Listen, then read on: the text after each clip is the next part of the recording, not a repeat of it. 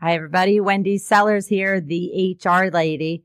Welcome to our podcast today, which is five ways our employees drive us crazy and what to do about it. Before jumping into the topic at hand, our first topic, I wanted to go over some statistics. What are the costs of poor leadership? Most organizations are operating with a 5 to 10% productivity loss that better leadership practices could eliminate. And this is a statistic from the Ken Blanchard companies. The cost of poor leadership is loss of annual sales. The statistics show that there is a loss of 7% of total annual sales due to poor leadership. There's also a loss of 9 to 32% of voluntary turnover due to poor leadership.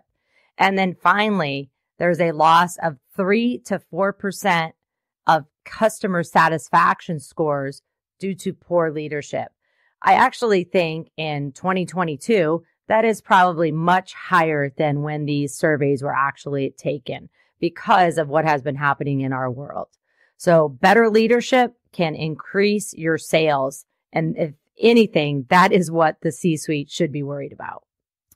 Let's talk about another statistics before we jump into the topic at hand. This is from the Gallup State of the American Workforce Report.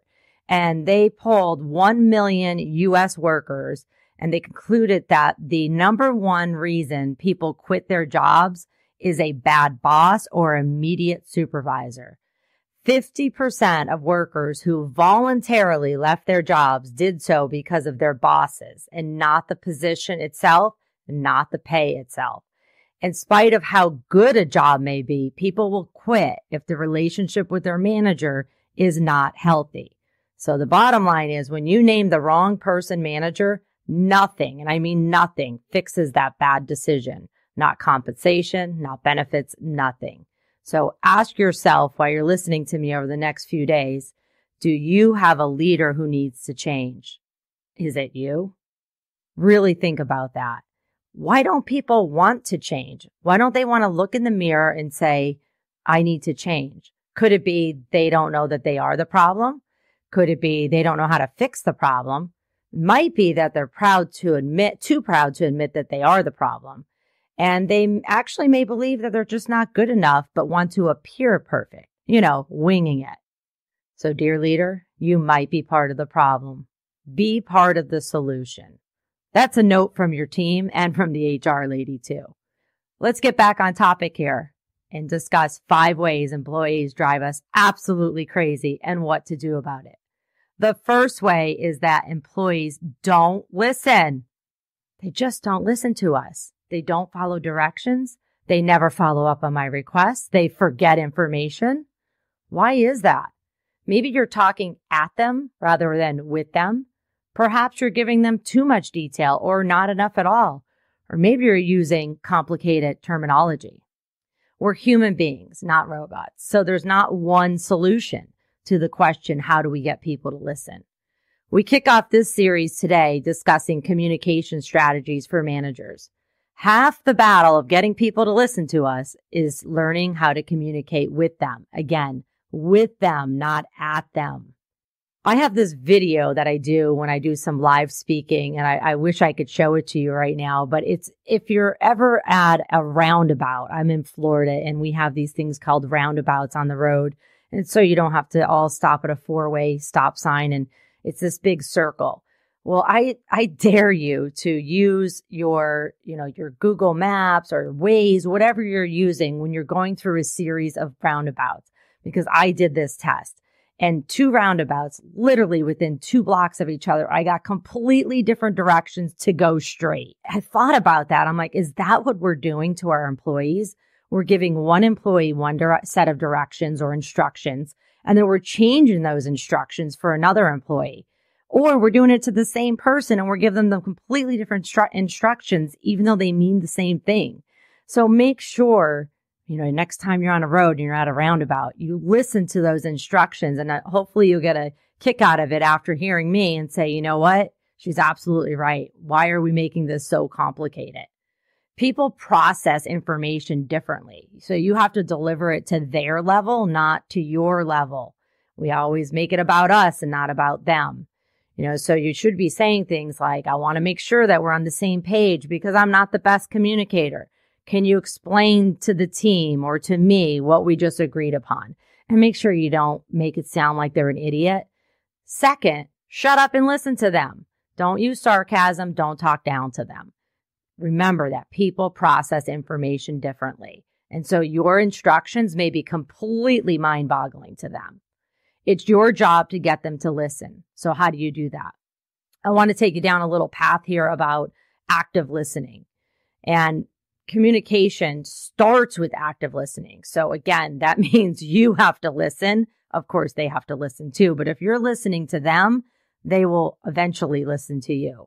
However, unlike conversations with friends who just need a listening ear when they vent, business communications require careful attention and crystal clear clarity. Consider how you interact with you, with others at work, even if they're not your employees, so that they can both listen and be heard.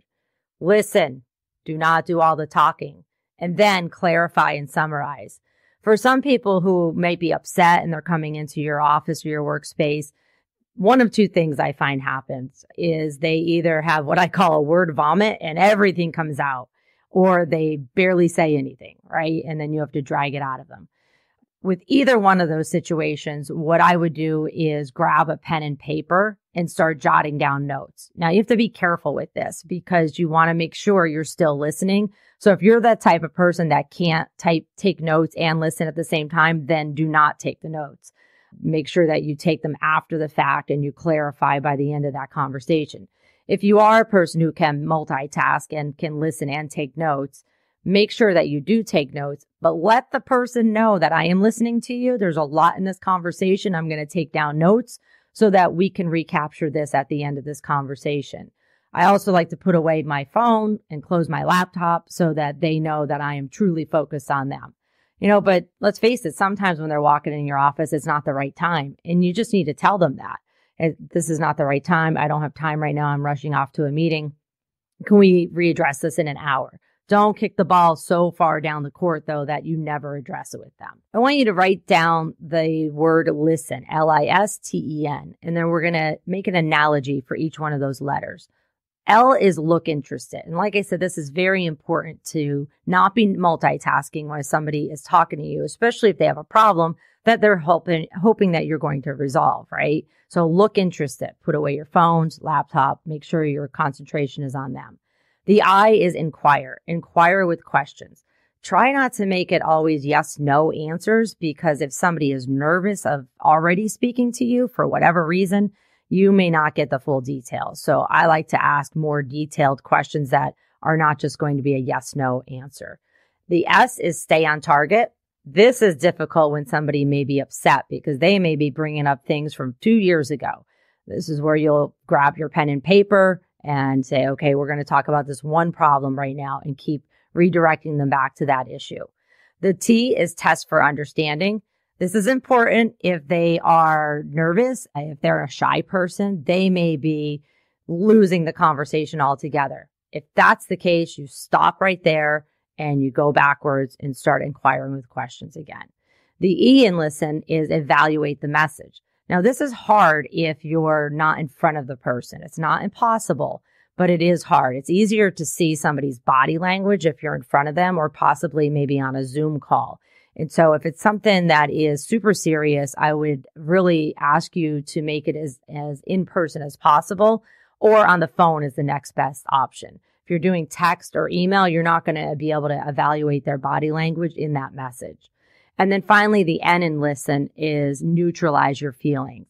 Just because you've had a bad experience with this particular person or employee in the past doesn't mean that they're coming to you with invalid information. So neutralizing your feelings and possibly your facial expressions is very important as well. There's a huge importance of understanding nonverbal communication skills. In fact, 55% of our communication is actually nonverbal. 55%, that's huge. Gestures, posture, facial expressions. Now we have this thing in our COVID era with face masks. And if people are wearing face masks, that may hinder your nonverbal communication skills. So just keep this in mind. vocal elements are also incredibly important. So 38% of our conversation skills are vocal elements. So, you know, the pitch, tone, rate, the rhythm of somebody's voice. The actual words that we are saying are only 7% of our communication skills.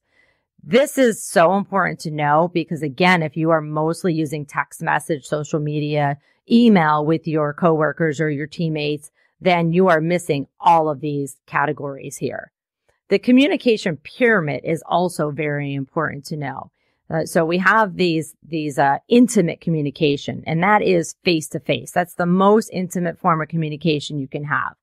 The next most intimate is video or video conference. And then it gets a little less intimate. Not that I want you to get intimate with your employees, but you know what I mean. We want to make sure that we talk to the other people that we work with as human beings. So the next best option would be phone conference. Uh, once you get into again the instant messaging, text, social media, and then email, it's very, you know, non-human, and we start getting some conflict in there. We're going to talk about conflict in a future podcast series. I want you to also stop and think about the team that you're working with and how their personality styles, no, scratch that, how your personality style affects communication. You need to know your style, and we're going to go over that in a second. Then you need to maybe guess and learn the styles of others. You're not going to actually be able to truly learn it unless you do an actual assessment, but I'm going to give you some information today that may help you figure it out.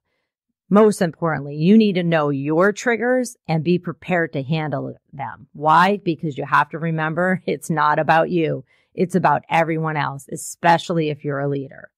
So I like using the DISC personality assessment. It's super simple and easy, and it's a derivative of Myers Briggs. Let's dive into the personality style method called DISC. There are four main styles, D, I, S, and C. This is the method I prefer to use. It is what I'm certified in. And I just think it's super simple and a great way to say, Hey, what is my style? And that, that means I now have to figure out what my coworker styles are too, so that I can adjust my style, not expect them to adjust their style. So grab a pen and paper, draw a circle. At the top of the circle, write outgoing. At the bottom of the circle, write reserve. On the left hand side of the circle, write tasks. And on the right hand side of the circle, right? People. And that's basically what these styles are focused on. So the D and the I are on the top. So the D is on the top left. And it's a super outgoing person who is task oriented as a priority. On the top right of the circle is I. And that's a super outgoing person who is people oriented. On the bottom right of the circle is the S. And that is somebody who is more reserved but they are people oriented as a priority. And then on the final corner, so to speak, of the circle is a C. They're on the bottom left and they are reserved people who are very task oriented. So figure out where you are in that. I mean, I truly think you should do an assessment. You can contact me. I can help you. There's a lot of people out there that can help you. This is a derivative, as I mentioned, of Myers Briggs. So it is scientifically legit but doing these have changed my entire world. If you are a deep personality style, and there's sub styles in between all of them. So there's actually 16 styles, but there's D, DI, DC, for example. So there's three Ds. But if you're a D personality style, again, you're going to be outgoing and task oriented, but you're going to be very dominant. Your, your focus is on results. You are a driver and you're usually competitive. If you are an I, an influential personality style, you're also going to be outgoing, but you're much more people oriented. Your focus is on inspiring people, being enthusiastic, and possibly persuading people to do things that you want them to do. If you are an S personality style, a stabilizing person, you are definitely people oriented, but much more reserved. And your focus is on being amiable in groups, democratic, and you have a lot of patience. And then finally, if you are a C personality style, you are definitely conscientious and cautious. You're much more reserved than the top styles and you're task oriented. These folks are very, very systematic and detail oriented. There's a personality style for every role. You don't have to be a specific personality style to work in a role, but it tends to work out that way. If you're interested in knowing more about this, feel free to grab one of my books, Suck It Up Buttercup, and I explain it a lot more in there. In fact, for the D's and the C's, I actually have a free activity for you on my website. And why do I have it for the D's and the C's only? It's an activity to get the D's and the C's to be more people oriented because the D's and the C's are naturally focused on tasks as a for, uh, priority. So I encourage you to download that and work on yourself. Remember, you could only change yourself, not anyone else. On the same topic of communication, let's talk about generations. There are a lot more myths than facts in the news about generations in the workplace. So generations is ages. And we're not really supposed to talk about ages at work, but we do. We do it anyways. And we, we put people in these boxes because of their age or their generation. But what I have found out is that people are much more alike than different, regardless of their age. The world has changed. Basic needs and desires of employees have changed. So regardless of the age, the world has changed. And that's why generations are differently different. No one fits into a neat box though regarding personality styles, age, generations, ability, disability, degree, experience, etc you have to make sure you take in everything with a grain of salt and treating people like an individual and not putting them in a box. As I mentioned, I said that I found out that more people are the same. Well, it's not just me. It's the scientists as well. Research by IBM measured generational differences in attitude toward three key workplace engagement drivers. And guess what? The results barely differed based on which generation answered this. And that was on future vision of the employee. They want to know what the future vision of the employer is. Growth and development. Everybody wants it regardless of their age and recognition. Everybody desires it. They might desire it differently, but they do desire it. So again, don't get so caught up in generations or age because there's a lot more things that are alike than are different. But I'm going to go over generations real quickly just so you understand if you hear these terminology out there. The first that we're going to talk about that's still in the workplace is baby boomers. And they were born 1946 to 1965. And the reason I say that age range is there's no scientific category that says you're a baby boomer. Here's the age that you are. Somebody made this up and we all ran with it. And so you might hear some of the actual dates vary a little bit. But the major characteristics of the majority of baby boomers, again, remember everybody's different, is job loyalty, self motivation, high work ethic, being competitive, and willing to make personal sacrifices for professional successes. Again, take a lot of this with a grain of salt because every single human being is different. The biggest thing that any baby boomer right now is dealing with, if they're still in the workplace, is they may not have saved money for retirement or they may have lost it in one of the many crashes. Then there's Generation X. They're about 1965 to 1980. Their major characteristics of the group as a whole is being efficient, direct in their communication style. Remember, not all personalities are direct, so take that with a grain of salt. Adaptable to new technologies, independent, steady, and dependable. Let's focus on the independent for a second. Most not most, but many Generation X as kids were latchkey kids. And so they had to get themselves off to school in the morning and back to school in the afternoon, do their homework, have dinner ready before mom or dad came home. Also, many Generation X may have be, may be in a single parent home. And so that was something that's very new. Now, the cool thing is, cause I'm Generation X, so I think it's really cool, is being the latchkey kid gave us a lot of freedom it also gave us a lot of flexibility to figure out how to do things absolutely last minute before mom and dad walked in. So, you know, this is where the flexibility started coming in when we're hiring Gen X is they've already been dealing with it a lot of their life. And even if it wasn't a single parent home, it was definitely two parents in the workforce for most Generation X kids. Then we move on to the millennials. I always joke about the millennials when I'm talking to millennials. I'm like, don't worry another generation's coming along soon and they're going to make fun of them. And we're here. We have Gen Z. So we'll talk about them in a minute. Millennials are about 1981 to 1996 is their birth years. And their major characteristics are being competitive. definitely tech savvy. They're in a tech savvy world. They can figure out most technology, maybe not behind the scenes, but they know how to use it. They're very achievement oriented. We made sure of that, right? And we made sure that we gave all these awards based on everything possible, including just showing up. It's not their fault. It was our fault that we did that to them. And then we're blaming it on them that they want an award for everything. They are very focused though on work life balance. And here's an, a reason why the millennials are the generation that got hit with every recession in the past 20 years, 30 years, really. They've got hit with everything possible, including 9 11, uh, COVID, the recession before 9 11.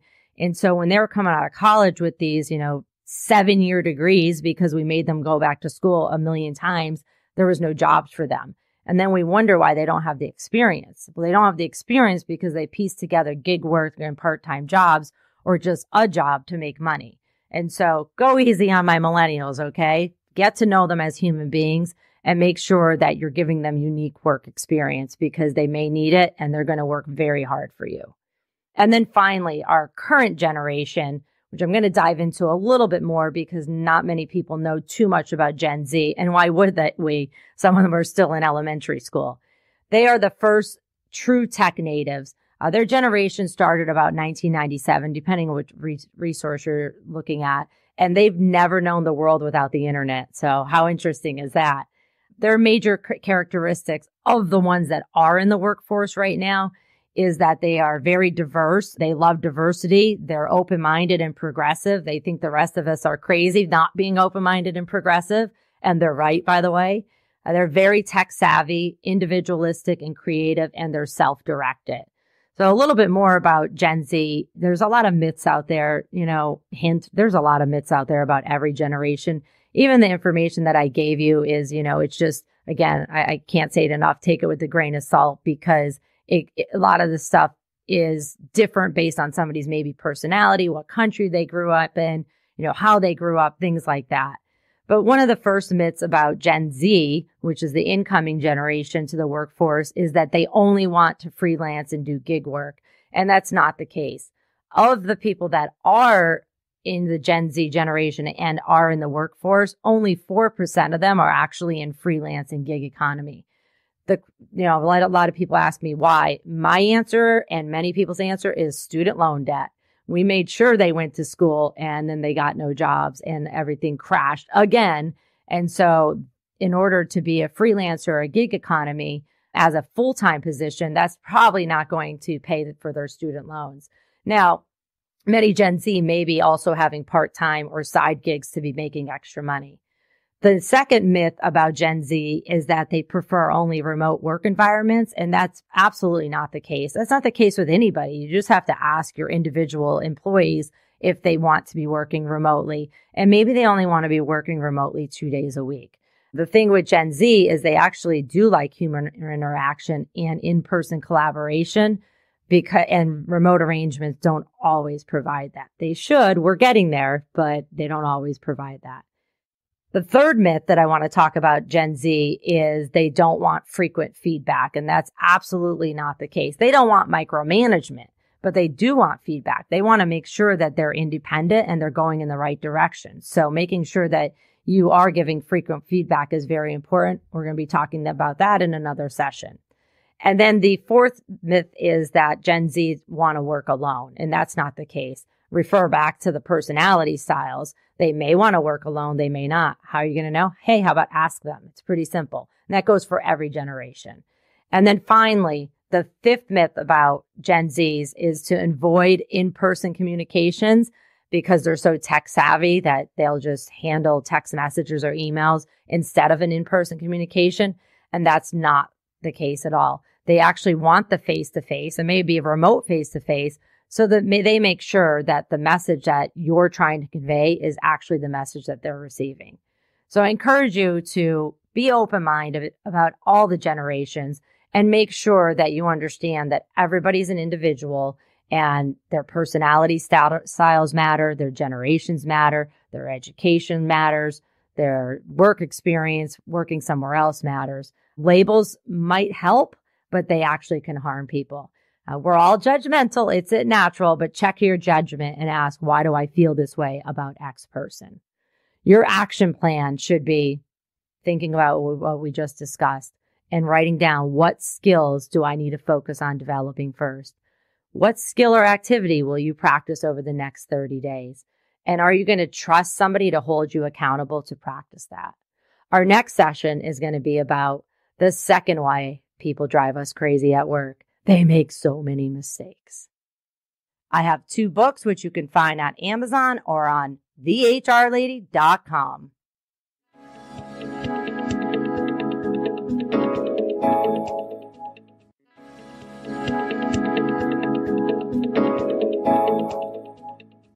Wendy Sellers here, the HR lady. Welcome back to five ways employees drive us crazy and what to do about it. The second topic we're going to discuss is they make so many mistakes. Well, here's a hint. Osmosis and mind reading is not a thing with human beings. We're going to dive into providing feedback as well as training and development methods in order to remove as many mistakes as possible from your workplace. But first, you have to leave that judgment. It's your job to get them to do things right. But how do you do that? Put it in writing give them deadlines, mutually agreed upon deadlines would be the preference, and then follow up. More on that in a minute. So how do you get them to do their job right? I like to start with three simple questions. I call them the three W's. Who, what, and when. Who specifically needs to do the task? What specifically needs to be done? And when specifically does this need to be done by? This is very important when you're talking in groups because if you're talking to two, three people, all those other people are going to go, Oh, my coworkers got it. And then they're going, No, my coworkers got it. Oh, no, my other coworkers got it. So you have to be very, very specific on the who, the what, and the when. Three W's. Keep that in mind. Your team is only as good as your, AKA managers, follow up skills. Write things down, schedule ongoing meetings with your team members, follow up on your mutual agreements, observe any signs of growth, progress in the task or with the person, check in, make sure that you have an open door. Even if you don't have a door, make sure people know that you have an open door and that they can stop by and ask questions at any time. Communicate the impact of the three W's. Watch for changes in your relationships if people are starting to avoid you or avoid eye contact, something might be going on. And then grab that mirror and evaluate yourself. Remember, you might be part of the problem. I want to go over a few statistics here about retention. I love using Gallup. They do all the research for you, and then you can just go ahead and look at their stats and say, where is my company? So per Gallup, at least 75% of the reasons for very costly voluntary turnover. So when people quit, come down to things that the manager can influence. Managers who can't or won't do anything about these factors that drive turnover can expect to be filling job requisitions soon. And let's talk about that. Maybe not even filling them, just putting job ads out there, but we have a staffing shortage in the United States. So you're going to have a shortage for quite some time in your organization. So why do employees leave voluntarily? The number one reason per Gallup, and let me just stop right there and tell you this was pre pandemic that this survey was done. So it might possibly be different right now. But the number one reason was not actually pay and benefits. It was career advancement or promotional opportunities. 32% of people who quit their job was because of career advancement or promotional opportunities. That's something that you, a manager, can affect. 22% quit because of pay and benefits. That's also something that you, a manager, can affect. Now, maybe you can't change your benefits. Maybe you can't change the pay, but you can definitely go to bat for them and say, I want to give them a promotion so that they can get to the next pay grade. Other reasons are lack of fit to a job. 20% of employees who quit said, I didn't even fit that job. Whose fault is that? That's the hiring manager's fault. Why did you hire them into that position if they didn't fit that job? And I know some of you might be saying because there's a staff shortage and we're desperate and I get it, but they're just going to leave. And when they leave, they're taking that time and talent with them. And it's costly, very, very costly. 17% said the reason they quit their job was specifically because of managers or the general work environment. So the manager themselves. And then other re- reasons are flexibility, scheduling, and then job security. So keep these things in mind. Don't say, I can't affect that because you possibly can by going to bat for your employees. Let's talk about even more items feedback and accountability. Accountable people seek feedback. And interesting enough, feedback creates accountable people. Isn't that interesting?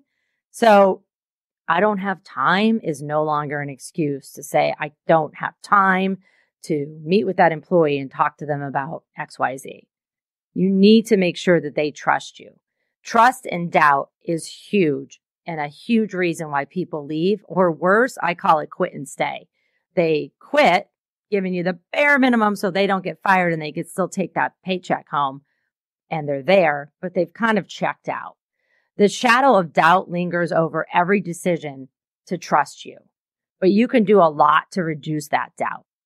What can you do? Transparency is super important. Now, let's face it, that's to a degree, right? You can't tell all your employees everything that's going on, especially with their coworkers, because that's confidential information and you want that coworker to trust you. So transparency to a degree is very important. Tell them what you can tell them of what's going on, even when things aren't going great. Let them know. Otherwise, they make things up in their head and rumors go around. What else can you re- do to reduce doubt is respect. Respect people and they will respect you. Respect is earned, right? But guess what? It's even earned for leaders. Just because you have a title behind your name doesn't mean people are going to automatically respect you. And then feedback, feedback, feedback, feedback is so important. So let's talk about feedback a little bit more. Feedback isn't about surprising somebody. The sooner you provide feedback, the more the person will understand the issue or the concern. And be very specific when you're giving feedback. Tell the person exactly what you need them to improve or continue doing. This ensures that you stick to the facts and there's less room for ambiguity and confusion. Training is for the current job. Development is for the future job. Why do you want to develop them for a future job? For retention. That's why. When is training needed? Training is needed throughout the entire employee life cycle. Of course, it's needed for new hires. I don't care if the new hire that you just brought in has 25 years experience doing exactly what you do. It was at a different company. They need training for your software, for your rules, your processes, your procedures. So training is for the current job.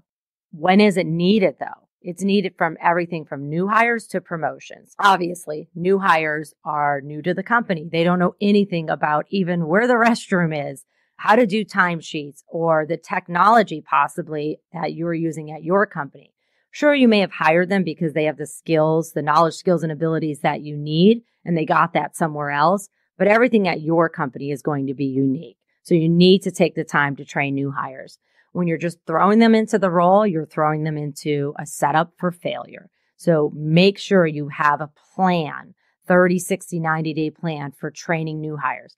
This is the same thing for anybody who's new in a role. Even if they're promoted internally, there should be a plan, minimum of 30 days, possibly 90 days. For some roles, that takes a lot longer. It might be up to a year.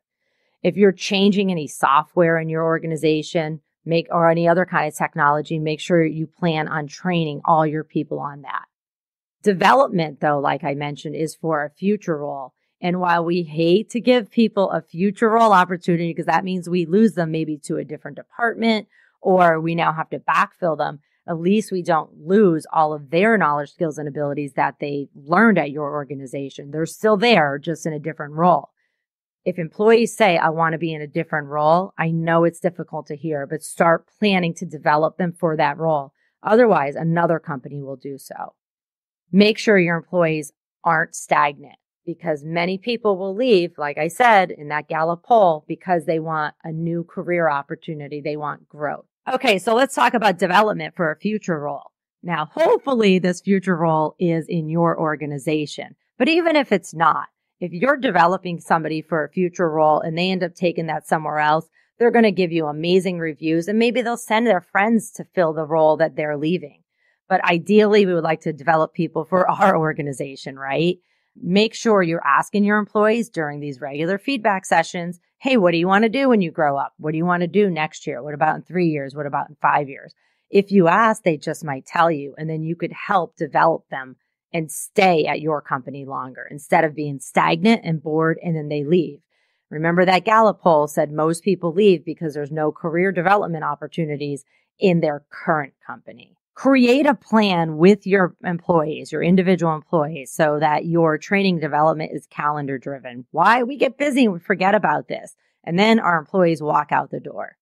Make sure that you are creating that plan so that you're boosting their confidence. They don't have doubt in you. They trust you and they want to work for you work with you and they're going to stay when times get tough. Let's talk a little bit about performance reviews. Ugh. Does the mere mention of a performance review make your heart sink? It does for mine. And I'm the HR lady. We save up our comments and our documents all year long of this person did something good. This person did something bad. And that's just a shame because giving and receiving feedback is key to engaging your employees every single day and keeping them on track. There has been a major shift in approach for performance reviews. I just call them feedback sessions because it should be both performance and behavior feedback. In the past, there was annual feedback and now there's ongoing conversations. Believe it or not, I'm probably one of the few HR people that can't stand the annual review. I like them to go away completely. Now, some of you need to have them for some compliance reasons. Contracts require them. Maybe you're working with the government and that contract requires them. That's okay, but that doesn't mean you can't have ongoing conversations, frequent conversations throughout the year. Listen, annual reviews are too late. They're often a monologue, not a dialogue. They're very formal. They stifle conversation. They're rushed. Then there's information in there that the employee doesn't even know about because you've been saving information all year long and you never talk to them about it. And the once a year review is rarely followed up with actual appropriate action. And it's very stressful for everyone involved. No one should be surprised at the content of an annual review. So let's move these performance and behavior conversations to more frequently. Let's start with 15 minute conversations once a month with each individual employee. Now, some of you might be gasping because it's timely and it's time consuming. But you know what? if that employee finds out something in that 15 minute monthly conversation that they can fix, it'll be fixed right then and there, not 11 months down the road. If starting out monthly is too much for you, just start out quarterly and then go bi monthly and then monthly. But I guarantee you it gets easier. The first conversation might be awkward because the employee is going, why is this person talking to me? And it's not my annual review period. They're either going to give you all this information and it's going to be a two hour session or they're going to clam up and say nothing.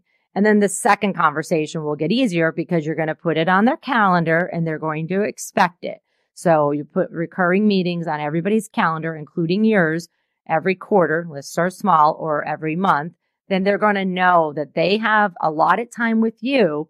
Again, it just needs to be 15 minutes to have a conversation about what's going well, what's not going well. And of course, if there is something super serious, especially if it's something negative, you want to address that sooner than later. You don't even want to wait for that 15 minute conversation. When you're having these 15 minute conversations, you know, don't make it so formal that it's scary, but do take notes.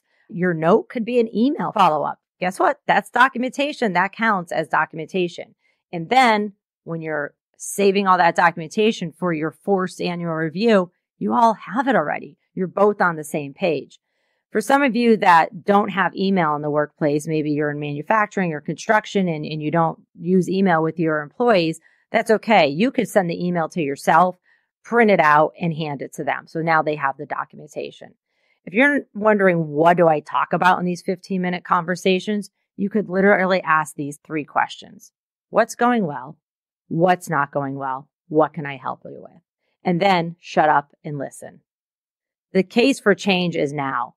Feedback is often incredibly unreliable, especially when it's those fancy performance review forms that I personally do not like. Why?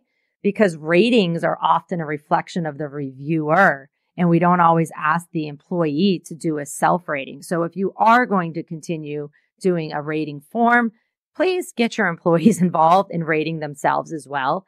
And here's a scary thought, maybe even rating you. Ooh. Make sure though that you understand your rating system and there should be definitions of what the ratings are. Generally speaking though, the goals of feedback, there's three of them. It's so that you can tell your employee, I see your good or bad performance and behavior. I want to fuel your performance and behavior, and I want to reward your performance and behavior. So, three things see, fuel, and reward. That is the purpose of feedback. There is a feedback fallacy, though.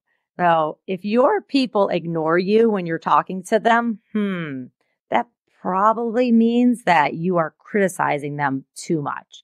The human brain scientifically responds to critical feedback as a threat and it shuts down. So they're not intentionally ignoring you. Okay, some of them might be, but they're not intentionally ignoring you. If you are a threat to them all the time, their brain says, do not listen to this person. So focusing only on people's shortcomings or gaps, it actually doesn't enable their learning. It impairs it. Who would have thunk? Criticism assumes your way is better and inhibits their brain from listening because their brain is not listening to you at all. So look into that. I write about that in my, in my book and there's a lot of articles on it. There's a great article with the Harvard Business Review called Nine Lies About Work and the Feedback Fallacy. And I think it's just fascinating to hear that information. So focusing on positive outcomes is really what you should be doing. I like giving the example of speaking French. So you've got a French client and all your employees speak English and Spanish. And you're like, oh, by the way, tomorrow I need you to speak French because we got a French client. No matter how much you threaten them, no matter how much you criticize them, they're not going to come to work tomorrow and speak French. And so what you should have done was hired a French speaking employee or thought about that, getting that contract before you got that contract on your books. So interesting way to look at it is again, if you're criticizing people, it's not going to change their learning. Be cognizant again of your ratings and what you believe your rating system actually means. And then be cognizant of your perceptions and your judgments. Again, we all like to judge a little bit, but realize that everyone makes mistakes. It's how we learn. So when you're saying your employees driving you crazy because they make so much many mistakes, you're probably part of the problem but it is how we learn is how to make mistakes. Ask yourself, is this person a continuous problem? Or is it just your perception? Because for some reason you don't get along with them. Grab that mirror. Is this person too valuable to discipline? Hint, no one is. And when you say that someone is too valuable to discipline, maybe they're the only one that has a license that you need or a certification or a certain skill, all your other employees see that and they know that and they check out either figuratively or literally by resigning. So your action plan from today should be asking yourself, what skills do I need to focus on developing first with myself? What skill or activity are you going to practice over the next 30 days? And who do you trust to encourage you to do this and hold you accountable? In our next session, we're going to be talking about our employees have no common sense. I have two books which you can find on Amazon or on thehrlady.com.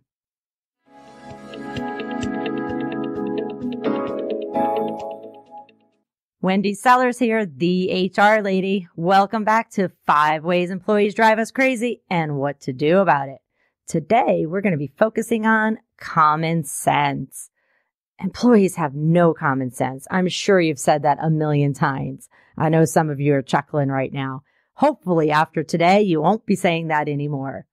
Why? Because expecting miracles and the acquisition of skills or information via osmosis is completely ridiculous.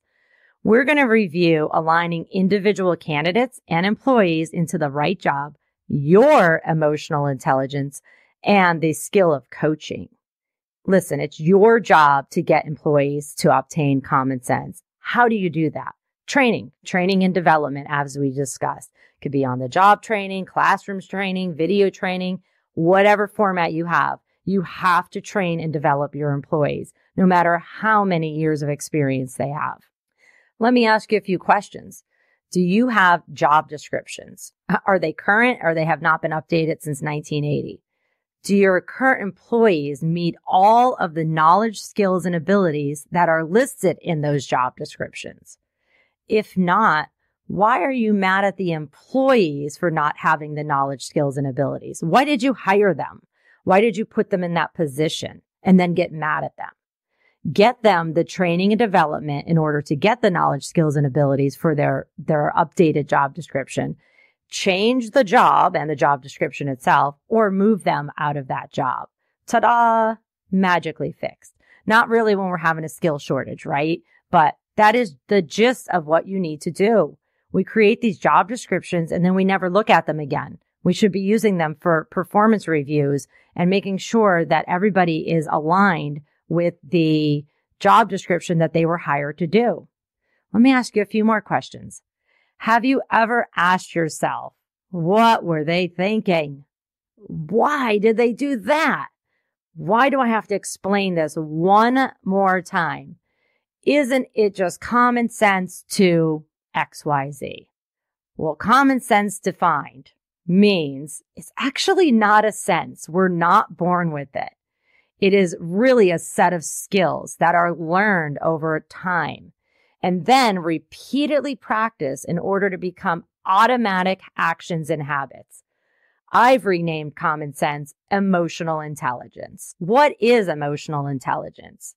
Emotional intelligence is your ability to recognize and understand emotions in yourself and then in others and your ability to use this awareness to manage your own behavior and relationships. It's pretty amazing. Emotional intelligence is not innate. Again, you're not born with it. It is something that is learned. It is not a personality trait. It is very dynamic and fluid. It is not information or data. It's about emotions and relationships. It is not IQ. It is known as EI or EQ. It is based on personal and social growth. Now let's get to a little bit of the science behind emotional intelligence. We have an emotional reaction to events before our rational mind is able to engage. So information goes into the spinal cord and then into the limbic system, which says, I feel something. And then it goes over to the rational part of the brain, way over here. So you feel something. Wait a second. Wait a second. Okay. Here comes the rational part. You have to train your brain to do that. You have to train your brain to form these habits and use common sense. Emotions run the show. So back to the brain part again. The emotional relational side of your brain operates faster, actually six cycles faster than the logical side of your brain. So that taking a deep breath is super important when something emotional has happened. So you can say, okay, the logical side of my brain is now catching up. It's very important. When people say take a deep breath, it's not just because they want a moment to gather their thoughts. It's so your emotions will calm down and your rational brain will kick in. I uh, share this image on LinkedIn often. I actually got it from from LinkedIn from Dr. Travis Bradberry. And he wrote an article and it's why leaders lack emotional intelligence. And there's this actual graph chart and it shows everything from an individual contributor all the way to a CEO. So there's an individual contributor, supervisor, manager, uh, director up to a CEO. And it shows that people that are in the supervisory role and the manager role actually have the highest level of emotional intelligence, way more than most people that are directors, executives, VPs, executives, and even CEOs. Why do you think that is? It's because they're dealing with employees' emotions all the time, where CEOs may not be. They may only be dealing with it once in a while because that is not their day to day focus. So if you're listening to this today and you are not a hands on supervisor or manager, you don't have employees directly working under you, I encourage you to walk around the room. So that walk around by management, it really does mean something because you're going to get in touch with the emotions of other people and your emotional intelligence will go up, but you have to practice it. There are five attributes of emotional intelligence. Now, this depends on, on what model you look at. There's a couple different models out there. It's not exactly a science. Uh, the model that I look at, there's five attributes, self-awareness, self-regulation, self-motivation, empathy, and social skills or relationships. In another model, empathy is just in one of those. So they're all covered, but you can see there's basically a personal competence and then there's a social competence. So the first three are about me, my self awareness, my self regulation, and my self motivation. And then the other attributes are more of a social competence. So relationships with other people. Empathy is a huge one. Empathy is not sympathy. Empathy is the ability to put yourself, figuratively speaking, in someone's shoes, even if you've never would ever be in their shoes. But if I was in their shoes, how would I feel? And then, of course, social skills and relationships. Remember, emotional intelligence is not something that you're born with. So everybody does have to learn this. And it could be something that's aligned with your personality because if your personality is you are super focused on people and their feelings, you're probably naturally going to have better relationship skills. So a lot of these things go together. Remember to not judge somebody based on their age or personality or even their emotional intelligence. People are capable of learning. You just have to show them the way. What are some of the EI or it's also known as EQ strategies to help embrace your resistance to change and, oh, I don't know, communication mishaps? One is to identify the source of your resistance. Why are you resistant to this change? Or why don't you want to talk to this person? Second, question the basis of your emotional response. Remember, your emotions come first. Try to put in that rational part of like, okay, why don't I want to deal with this person or this topic? Could be that they remind you of somebody else. It could be that your last experience with them was, was unpleasant. A lot of these are very common, but as a manager or supervisor, we have to get over that because we can't just shun somebody. They will leave and or you may get sued. Number three is own your own part in the situation. Remember, grab that mirror and say, how am I part of the problem here? And then finally, turn up your positive outlook. You know, we can make ourselves become positive. For some of you, it might just be, you know, looking through some cat or dog pictures, going for a brisk walk, taking a break, uh, whatever it might be, but turn up your positive outlook and get yourself in a good mood so that you can deal with these emotional responses and turn them into rational responses. Let's talk a little bit about coaching because every manager needs to practice two types of coaching. One is calendar driven and then one is event driven. And what do they mean? So calendar driven is what I discussed in our last session, where you're going to put recurring appointments on your calendar and force yourself to communicate with your employees, but not about the daily tasks, but about them. How are things going? Where do they want to be in the future? How can you help them?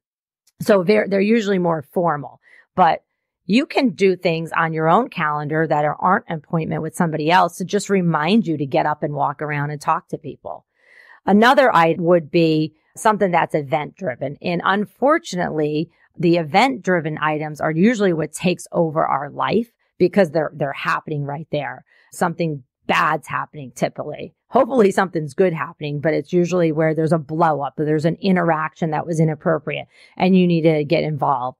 Work projects not getting done, a task isn't getting done, and that's an event. And so we drop everything and we address that event. Try not to let the events take over the calendar driven. It's going to happen that you're going to have to cancel a meeting once in a while. Please make sure you reschedule it.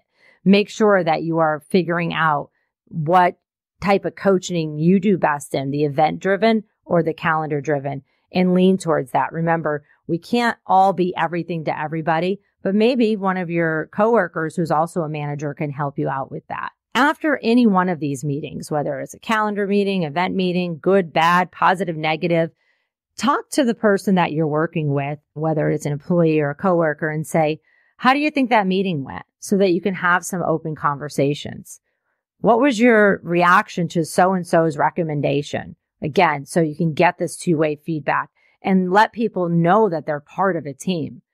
Could be what part of the project or the presentation do you think went best? These are very quick conversations, but they may mean the world to somebody. Remember what we talked about in a previous podcast is your feedback skills have to be on point. Feedback is so, so important. Now there's a difference between coaching and supervision. To be a supervisor, you're supposed to coach, but in coaching, you're not always a supervisor at that moment. Sometimes you're just helping somebody because you care about them as a human being, even if you're not their supervisor. But coaching is another opportunity to grow and develop. Coaching can take place in many formats, teaching, advising, counseling, modeling the way, helping them with problem solving, where supervision is usually more about planning, directing, organizing, and controlling workflows and people. Many of your employees, though, like to be coached differently than maybe their coworker. Some people like to be advised and taught. Others want to just be listened to and ask questions and get the answers that they're seeking. Some want to be flat out told what to do and others want to figure it out for themselves. Remember when you're meeting with them on a quarterly, hopefully bi-monthly or monthly basis at this point, you're going to get to know them as individuals and figure this out. But just ask them how they want to be coached. Effective coaches know how to adapt their coaching style to the preferences of their coachee. And they also know how to change the processes. Finally, when you're dealing with individuals in the workplace and they're driving you crazy, find the root cause of what is driving you crazy. I like to take the person out of it, even though the person's always going to be involved, but maybe it's equipment that's, that's uh, faltering. Maybe the process is broken and we've been using it for 15 years. Maybe we don't have enough materials. Maybe it's the environment. Hey, maybe I need to grab a mirror and it's me, the manager. But finding the root cause of the problem is very important because it points to what needs to be corrected rather than blaming somebody. It creates a trusting culture open to change rather than that culture of fear. It prevents small issues from escalating into big conflicts or being hidden. It allows for a review of the system, the processes, and it humanizes the monster. You can take down the guard of the employee so they can tell you what's going on. Your action plan moving forward today should be what skills do I need to focus on developing first? What skill or activity will I practice over the next 30 days? And who do I trust on my team to encourage me and hold me accountable to practicing these skills? Our next podcast on five ways employees drive us crazy is going to be about their entitlement mentality.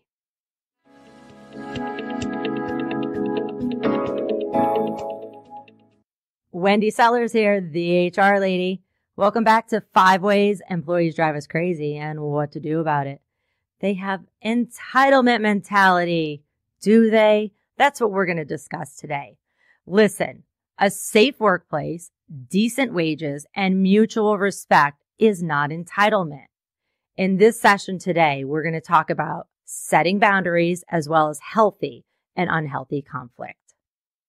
As I've mentioned a gazillion times already, we are a lot more alike than we are different. Focus on adapting your communication styles. So you, the manager, need to change your style.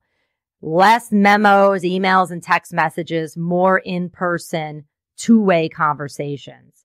Whether the individual is 20 or 60, male or female, white, brown, yellow, black, it doesn't matter. Everybody should be treated as an individual.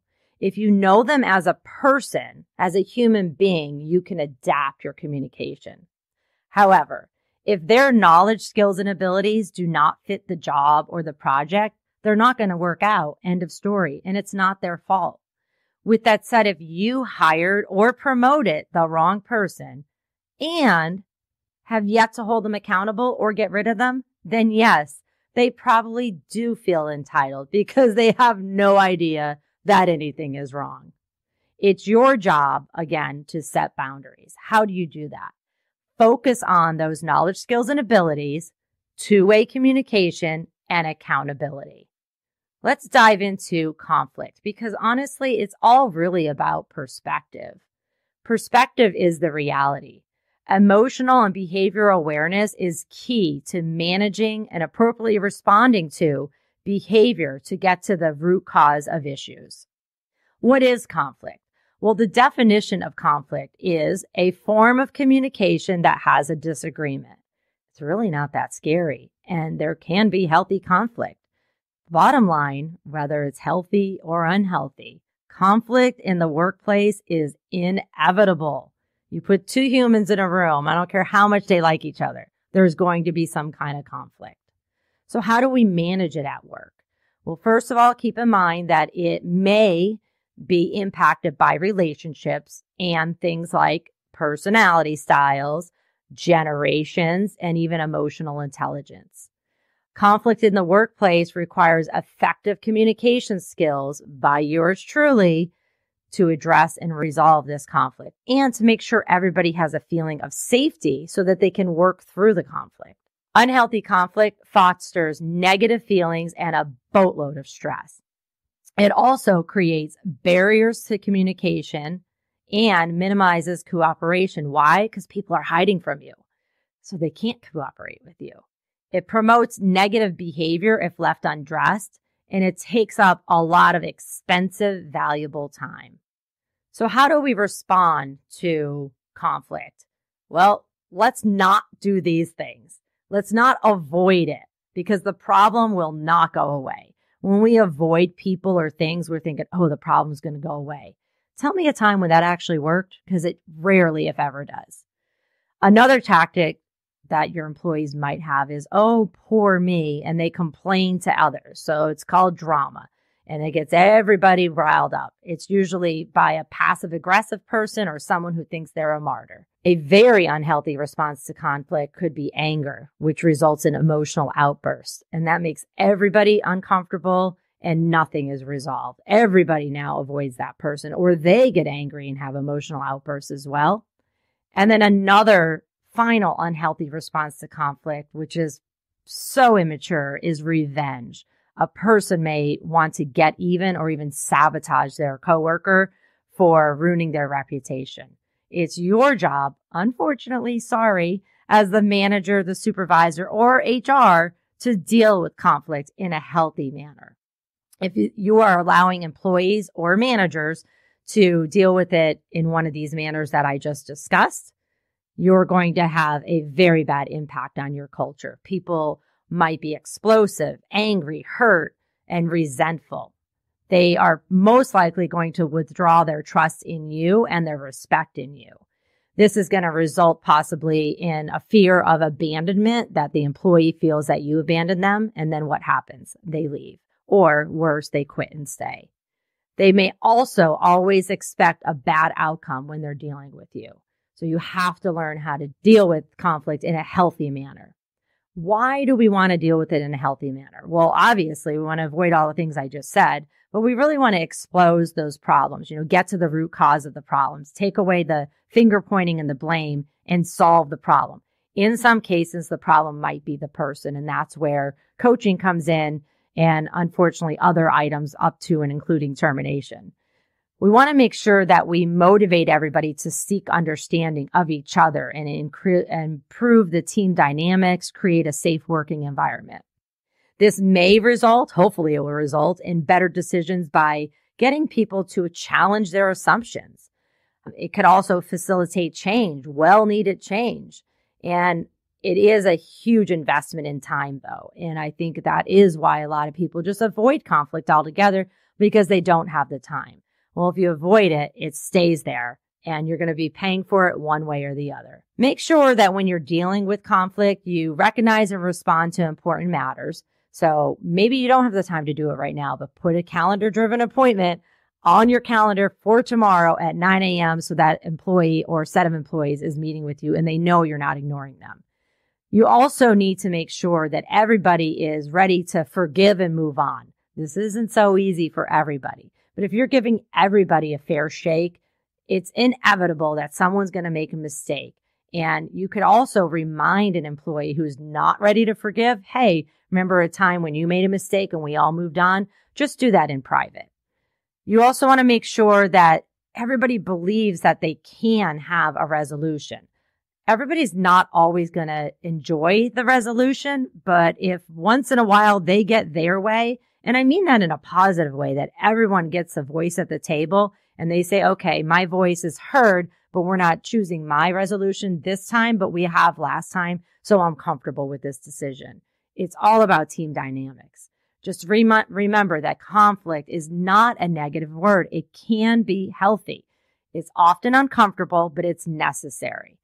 There have been many conflicts in our workplace, and our world throughout time, just recently than there still is during the COVID era. But one of the things that I like to remind people of, because it's just kind of part of a workplace now, is OSHA. So safety at work. We didn't have safety at work or an, an occupational safety and health administration until 1970. And the reason we had that was because of conflict and people fought that battle for us. And now it's just part of what we do. We want to make sure our employees are safe at work. It's their right. So conflict can be a healthy thing. It can lead to long-term change, not only in your workplace, but in the entire world, to be quite honest. What are the five benefits of healthy team conflict? We want to make sure people feel that they can trust you and they're secure with you, but then they can trust their team so that they can talk openly about things that they agree and disagree with. Definitely invites diverse points of view. And I mean diversity in the legal sense and diversity in the, in the sense of just asking people who normally wouldn't be invited to the table, what are your thoughts? And then allowing that conflict. Now, you may have to moderate that conflict and, you know, moderate who's speaking and when so that everybody has a voice at the table, but it gets easier. Healthy conflict surfaces potential issues. They don't get shoved under the rug and hidden. It also builds commitment to moving forward to the company vision, to the team, and it leads to better decisions overall. Some of the possible conflict outcomes are many. And again, not everyone's going to have a win-win. Some people might have a lose-lose, but if there's a compromise involved, or maybe a win-lose, one person's winning, one person's losing, but it's not always that same person that's winning and it's not always that same person that's losing. It gets a lot easier but you're going to have to regulate that until the employees can figure out how to do it themselves. And sometimes that may be never. So be a conflict champion. It's okay. It's uncomfortable, but it is okay. Okay. So let's talk about common types of conflict and who is the person that is in charge of this conflict because it can be confusing and it may be different for your organization, but this is generally what I see. So the first one is the direct management. So leaders, supervisors, team leads, maybe directors. They typically deal with the day to day conflict amongst employees and the team, personality conflicts, gossip and drama, um, any kind of perceived unfairness, constructive feedback, of course, because you're going to be having regular feedback conversations with your employees, and then process improvement ideas. They're usually dealt with at the team level. The next level up so in your organization, it might be a director, maybe it's a VP, depends on how your organization is structured. But the next level up usually deals with, in conjunction with the manager, career path decisions for employees, uh, performance and behavior assessments, finalizing them, making sure everything looks legit and is consistent with the company processes and the company procedures. Division of work might be at that level, or it could be at the, the management level as well major disciplinary issues, and then even pay, such as salary and promotions. Human resources usually deals with the legal issues. So harassment, discrimination, any kind of leave, federal leave, FMLA, employee health and benefits, and then any other kind of legal issues. Sure, is HR involved in some of these other items? Often because they're training or they might be the witness but the managers and the supervisors and the directors are really the ones that should be handling the conflict, not HR. You may be leaning on HR for advice and guidance, especially for your company procedures, but you should be handling the majority of the conflict, not HR. Here's what I ask people when they, they come to me. A manager comes to me and says, Hey, Wendy, can you go and talk to my employee for me based on his drama or perceived unfairness? And I say, do you want them to respect me or do you want them to respect you? Because if you want them to respect me, I'll go talk to them. If you want them to respect you, you should go talk to them. And we can practice that session before you go.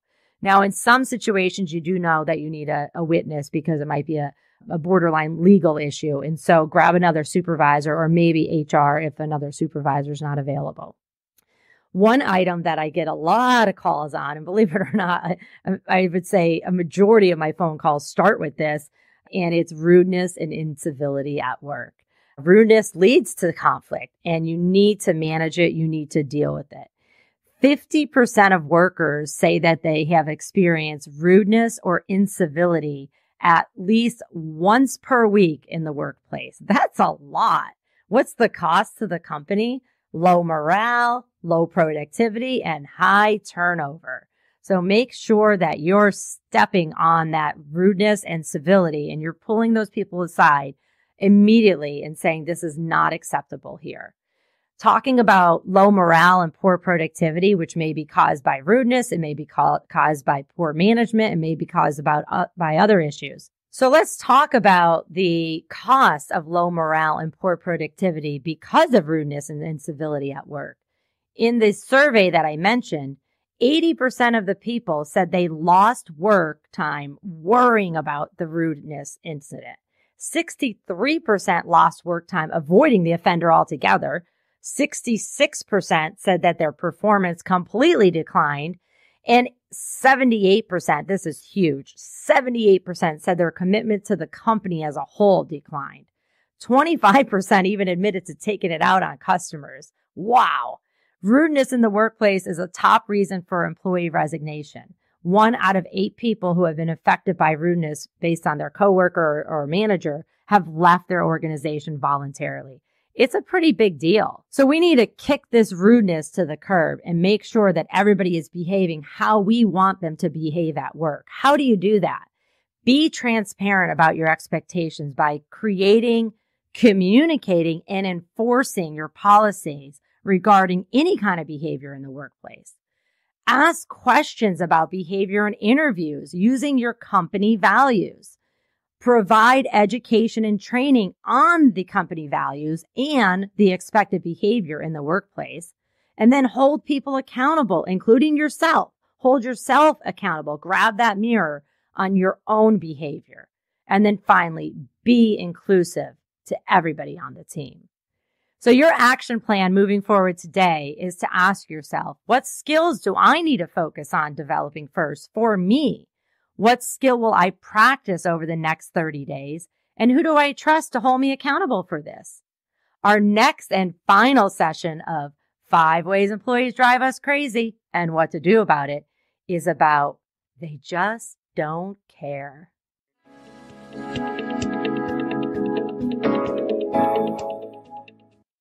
Wendy Sellers here, the HR lady. Welcome back to Five Ways Employees Drive Us Crazy and What to Do About It. Our fifth way is they just don't care. Do you really think that's the case? Would you care about someone or a company that did not care about you? Probably not. The days of just do what I say or you won't have a job are long gone and good riddance. People at all levels of the org chart expect more from their employers, including standing up for them. It's your job to get them to care. How do you do that? You treat them like humans. You are transparent with them, you are honest with them, and you provide them a boatload of feedback. According to a survey of 23,000 employees conducted by Harris Interactive, only 37% of employees actually understood what their employer was trying to achieve. That just blows my mind. Literally stand, sitting in an interview, nobody explains to the candidate or the employee for that matter what the company vision is, what the mission is, or what the company values are. And then we are confused why the employee doesn't know this. You should lead using not only your vision and your mission for the organization, but also the company values. I know I've mentioned the values quite a few times already. These are super important to be able to control people's behavior. We often think of vision, mission, and values as a marketing tool for customers, and we forget about this very important aspect of our organization called the employees. If your values have words like realistic, honest, and reliable, by the way, they're my company values, maybe even respect and transparency. You can use that terminology when you're hiring, all the way through promotions, those regular feedback sessions, counseling and discipline when necessary, and unfortunately also with terminations. Remember in our session that I said I don't like performance reviews? It's because we forget about the behaviors. And nine times out of 10, people are calling me because somebody is behaving badly, not because they're performing badly. Performance is pretty easy to identify. Behavior is sometimes leaving us scratching our heads of what is acceptable at work and what is not. We need to make sure we have these company values. Furthermore, there's these two words that fit every budget. Thank you. It's completely free. Employees want, no, scratch that. They demand appreciation and recognition from their managers and from the company as a whole. Now, don't go around just saying, thank you, thank you, thank you. You need to be very specific. You need to be saying, Joe, thank you for a job well done. The way you went above and beyond for XYZ customer on this date really meant a lot. I appreciate it. Very specific, fits every budget. Now let's talk about bad attitudes. We talked about rudeness and civil incivility, but just general bad attitudes. If you are not addressing this at work, trust me, everybody knows. All the coworkers know. They know somebody has a bad attitude and they're getting away with it. And then they think, well, if they're getting away with it, I'm going to get away with it too. And then they do. So the tools to handle a bad attitude are as follows. Number one, be swift. Do not delay. If you see it or you hear about it, act on it immediately and be straightforward. Call the person out on it once you've confirmed that it actually is factual. You can say something like, what you're doing is negative and unproductive. And what I need is exceptional quality among team members who value other team members. And then be very specific. Talk about the incident. Say something like, part of what we need in this role is someone with a can do attitude, as well as a willingness to hear feedback. This means I need you to be pleasant to coworkers, participate in meetings, not roll your eyes or otherwise be dismissive when people talk, and be open to discussing areas where I ask you to do something differently. And then outline the accountability. I want to be clear that this is important enough that without significant improvement in the next few days, by the way, immediately is okay. We are going to need to move you out of this role. Now, moving them out of the role might be moving them out of the company too. And then finally, follow through, terminate them if you need to. Other employees are going to see that and they're going to make sure that they don't act that way. They're not going to say, but, but, but so and so got away with it. You need to make sure any kind of rudeness, incivility, drama, gossip, and rumors is squashed. They have no business in business. So get rid of them fast. On the same note, make sure you allow all your employees to share their concerns. So you've removed all the drama from the workplace. You're holding people accountable. Now you need to be open minded, even though it's going to be time consuming. Encourage your employees to share their frustrations and you have to let them know how they share their frustrations. On social media is probably not appropriate. It may be legal, by the way, but probably not appropriate. But if you're not listening to them, they're going to get attention of somebody else that will listen to them. So this goes back to our first session of listening to people. Let them know that you're interested and concerned by listening and giving them the time, putting them on your calendar, doing the walk around. Make sure they know that you care and that you want to hear from them. Another reason you want to allow employees to share their concerns is guess what? Managers and leaders don't have all the answers. So I ask you, how do your employees share their concerns? Do you really think they trust you? Do they come to you? Or do they run to HR or social media? Make sure that when people are coming to you, that you're standing up for them.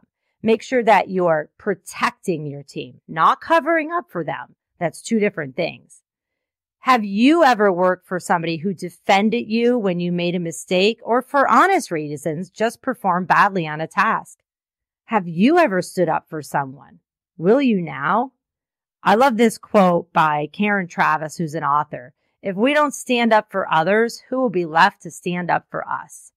When you stand up for your team, you show that you're on their side when they need help and they're going to come to you instead of burying mistakes.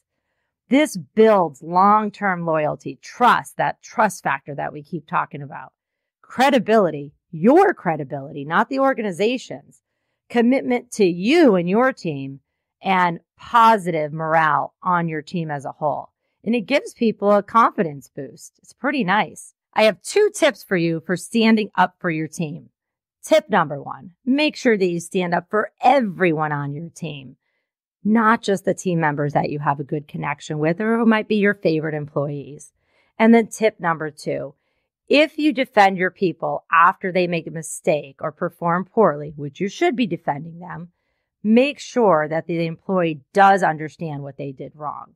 And then there'll be a mutual commitment to not letting it happen again. You may need to sprinkle in there training and development. There may be documentation. There may even be improvement plans but make sure that you commit to not letting this happen again. Let's move on a little bit more to creating an accountability culture. We've talked about this a lot. Have you ever heard the model SMART or SMARTER? They're SMART goals. This is where you would be setting up your employees for success. Remember I mentioned I'm not a big fan of performance reviews. The reason I don't like performance reviews is they're usually this weird review format that has absolutely nothing to do with the job description or with the goals that the employee has moving forward. They're very generic. If you have job descriptions, which you should, and they should be updated every year, you could quickly just turn that job description into a review format. So for, let's just say there's 10 main major responsibilities. That is your review on those 10 major responsibilities where you say thumbs up, employees doing it or thumbs down, employees not, or whatever your rating system is. Additionally, you can sprinkle in SMART goals. So if you haven't heard about SMART goals, it's an acronym S M A R T and it stands for specific, measurable, action oriented, realistic, and timed.